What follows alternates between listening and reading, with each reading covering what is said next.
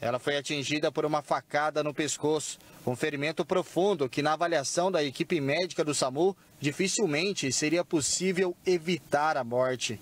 A princípio, só essa lesão na região anterior, só. Uma, uma região com estruturas nobres, vitais, que comprometem a vida da, do, do, da pessoa. A faca foi apreendida e será analisada no Instituto de Criminalística. O corpo estava com rigidez e a suspeita é que Arthur teria passado a madrugada ao lado de Cláudia, sem vida.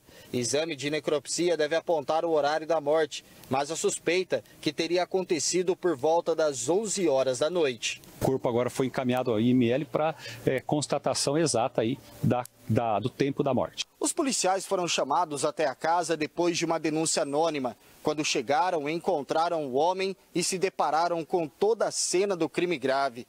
Ele estava se preparando para atear fogo no corpo e na residência para atrapalhar as investigações, mas foi impedido pelas equipes.